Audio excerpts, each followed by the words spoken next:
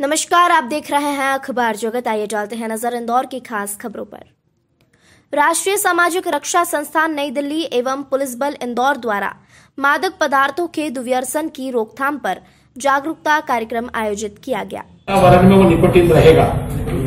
24 घंटे तक 10 सिगरेट के बराबर का निकोटिन आपको मिलेगा, जो जो भी कमरे में आएगा और पर्टिकुलरली अगर ये एयर कंडीशन है तो 24 घंटे से भी ज़्यादा इसके अंदर रहेगा। 11 परसेंट कैंसर सिर्फ़ पैसिव स्मोकिंग के कारण हो रहा है। मैडम, आपको बता दूँ 70 परसेंट उन महिलाओं को कैंसर जिनकी उम्र पैंतालीस साल 50 साल से कम है, जिनको बिनोपॉज नहीं हुआ ये साइंस ने प्रूव कर दिया है कि 70 परसेंट उन महिलाओं को कैंसर सिर्फ़ पैसिव स्मोकिंग के कारण हो रहा है। उनके हस्बैंड उनके दोस्त, उनके कुलीग उनके ऑफ़िस के अंदर एक कोई सिगरेट पीता है, उस सिगरेट पीने के कारण ग्यारह परसेंट कैंसर और सत्तर percent pre menopausal breast cancer उन लड़कियों को हो जाता है। बेटमा पुलिस ने हाल ही में मोबाइल और लैपटॉप चोरी करने वाले गिरोह को गिरफ़्तार किया। आरोपियों के पास से लेनोवो कंपनी का लैपटॉप और मोबाइल जब्त किया गया।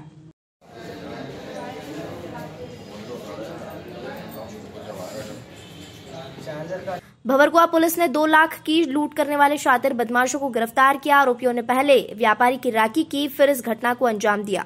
लूट के पैसों से आरोपी होटल में रह रहा था। पुलिस ने घटना में इस्तेमाल हुई मोटर बाइक भी जब्त की। साथ में एक मोटरसाइकिल से दो अज्ञात सवारों ने फरियादी के साथ में लूट की थी, जिसका नाम ओम प्रकाश गर्ग था। इन बदमाशों ने उनके सिर पे कोई चीज़ से मारा था और उनका दो लाख रुपया लूट लिया था। इस पे भवरकुआ में एफआईआर दर्ज की गई थी।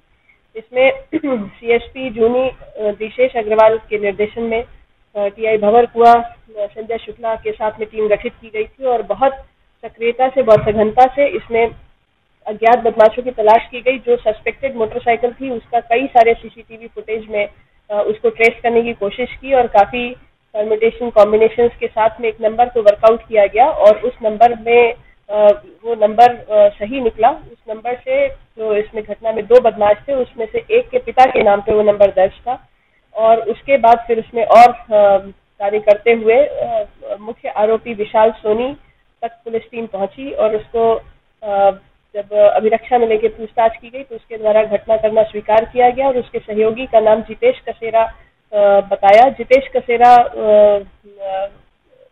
इंदौर से फरार था। उसको ओपन सोर्स इंटेलिजेंस के माध्यम से टीम ने बहुत अच्छे से वर्क करते हुए उसका लोकेशन गुड़गांव में ट्रेस किया और दिल्ली से जाकर के उसको गिरफ़्तार किया है। दोनों ने लूट का रुपया आपस में एक एक लाख रुपया बांटना बताया है। उनको पुलिस अभिरक्षा में लेकर के आगे लूट के माल को बरामद करने की कार्रवाई की जाएगी। पूरी कार्यवाही में मुख्य भूमिका आरक्षक प्रदीप, अभिनव और उमेश और इसके साथ में टीआई खबर हुआ की सब इंस्पेक्टर और इनके बाकी स्टाफ की बहुत सराहनीय भूमिका रही है। इनको दस हज़ार रूपए कैश रिवॉर्ड दिया जा रहा है। इंदौर की खास खबरों के लिए बने रहिए हमारे साथ। देखते रहिए अखबार जगत।